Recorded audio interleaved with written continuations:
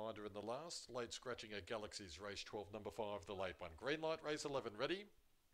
Racing, Shizzler again okay. Good speed though from Tigger who goes straight to the leader. Shizzler trying to punch through the inside, is punching through.